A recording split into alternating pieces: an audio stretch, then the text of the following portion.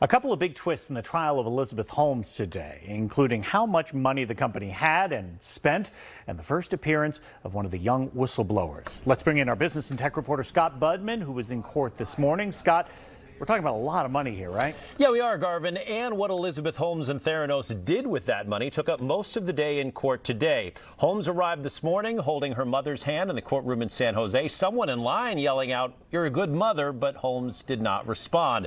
Now, once inside, former Theranos controller Danise Yam was on the stand.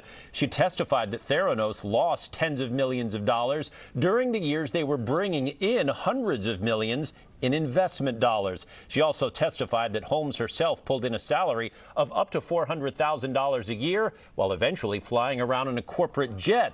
Then, towards the end of the day, the first appearance of Erika Cheung. She's the former Theranos employer turned whistleblower. She testified today that the Edison machines, which Theranos told investors were going to change the way we test for blood, didn't work.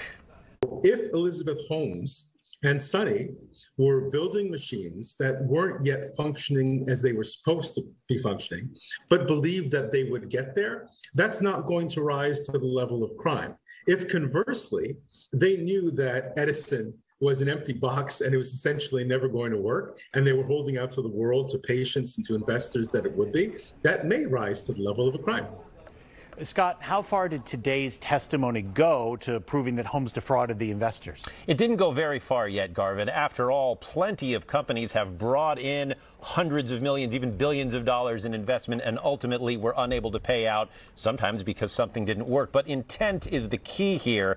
We don't know if Holmes knew in advance that those machines didn't work and still told investors and patients that they did. That would be criminal. Today, we just sort of started down that path. Uh, speaking of which, what are we likely to see coming next? I think we're going to see tomorrow. Uh, Erika Cheung is going to take second uh, center stage. She is one of two whistleblowers that we know are going to testify. Uh, and I think as she gets into testimony, they started to grill her today on what she knew and what she tried to communicate to other executives, including Elizabeth Holmes at the company. We should hear a lot more about that tomorrow. Scott, thanks for keeping us up to date on this fascinating trial.